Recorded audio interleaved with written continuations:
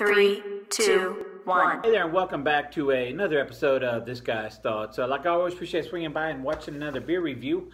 Uh, if you, you're uh, first time watching the channel, be sure to check out my other videos. Be sure you uh, like this video, drop a comment down below. Uh, tonight's episode, we're going to take a look at one that I found uh, recently. This is uh, June of 2020. Uh, it was recently in the Aldi grocery store, uh, picking up some stuff for a cookout. And um, I came across, um, first off, they had some local, some in state Ohio craft beer in there, some Rhinegeist and whatnot. But then I seen this six pack of this IPA for $6.99 for the six pack. So this here is a Hopping Command, Hopping Nomad IPA Session Ale for the true adventurer inside us all. So, Hopping Nomad IPA. Uh, it doesn't really say anything more about it really on the can on the box here. Uh, again, six dollars and ninety nine cents. I didn't think I could go wrong with that. Uh, it says on the back, state of on the bottom, sorry, state of brewing, Waunakee, Wisconsin. So uh, it's four and a half percent alcohol by volume. So that's the six pack that it came in. And we'll crack it open here and uh, pull a can out of this. All right, so let's see here. Put that back down over there. So the can uh, says Hopping Nomad IPA. Pretty much, uh, it's got like a little um, hot air balloon uh, with some hops on it. Actually, it's pretty cool artwork, really, on there. Um, just a green can. Um, very generic as far as really saying uh, the name of the brewery. I'm assuming this is something um, that is brewed uh, specifically for the Aldi grocery store, which was my guess. I'm just guessing at that. It was only $6.99 uh, for the six pack. They do list the ABV and the IBU. Uh, it's 4.5% alcohol by volume according to the can. Is that what it said on the bottom here? Uh, yes, it is. And it's also uh, 42 IBU. Says clean medium malt backbone, light body aroma, aroma of a mixed berries, lemon, citrus, bubble gum, citrus zest, and tropical pineapple. So it does actually sound pretty good. So a dollar, not quite a dollar and a quarter a can here. Um, it, this could be a, a still or something. Hell, I don't know. Or it could be a, a, just a dumper. So uh, uh, I'm going to give the artwork a four out of four on the artwork, or four out of five on the artwork. I do like what they did there. So let's crack this open. No explosion there. Uh, typical looking ale. Uh, producing a white head up on there. Uh, just a hazy golden color to that.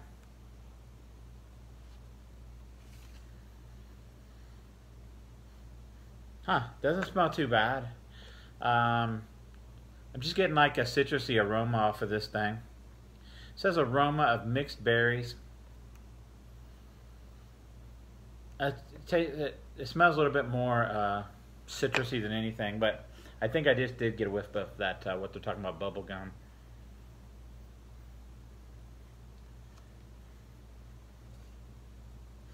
Yeah, so when I rub my nose across it just right, I do kind of get that, um, that like a sweet bubblegum uh, aroma coming off of this. It's pretty wild, really. So we'll dump that all, get all that in there. I'll set that can up there so you can get a look at that can. And we'll go ahead and uh, uh, get a drink on this. See what uh, see what the taste gives.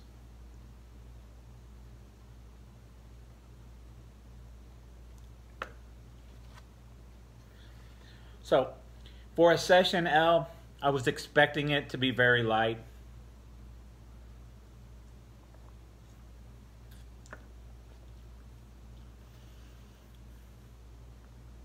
Uh, it's got a very watery uh, taste to it.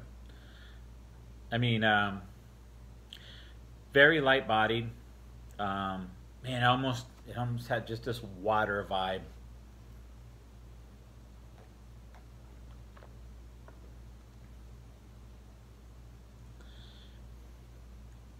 Not a whole lot uh, offering in the taste on this one. Um, very, very basic, um, generic taste. So, this whole thing put me in mind of um, Founders All Day IPA, All Day Sessional, Pale um, I don't know why, I just couldn't get that out of my head. The green, um, just that's what I was thinking. It's nowhere near that. To me, it's very watery. Um, it lacks all those flavors. Um, th- there's no mate. It smells better than it actually tastes. Um, I don't get any tropical pineapple.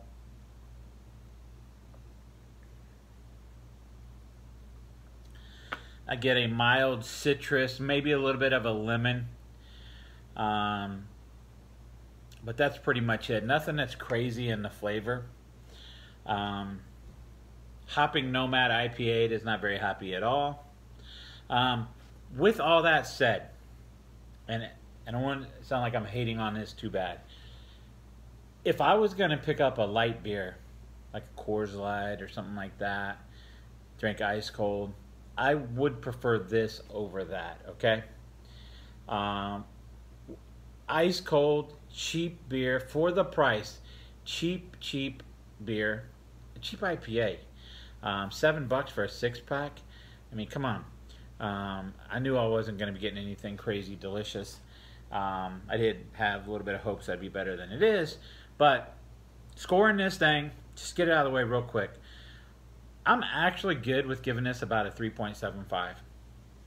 Um, and I'll tell you why. Price point alone, 3.75. Summertime, Crusher. Get this at that cheap price. Put it in a tub of ice, cooler of ice out there. Drink it ice cold. Um, they would go down nice and easy. Um, very similar to um, like like what a Coors or a Bud Light or a Miller Lite, uh, those type of uh, you know cheap beers you buy and um, want to just drink in bulk uh, on a hot day, whether it's poolside, grilling, whatever. So I'm actually good with giving this a 3.75 out of 5. Um, I was a little brutal on it, but I got to remember I only paid 7 bucks for the six pack, so I can't hate on it too much. So 3.75 uh, out of 5. Um, if you've had this before, uh, let me know what your thoughts are on this. Uh, anyhow, like, subscribe, uh, check me out on social media, hit that notification bell, uh, drop a comment down below.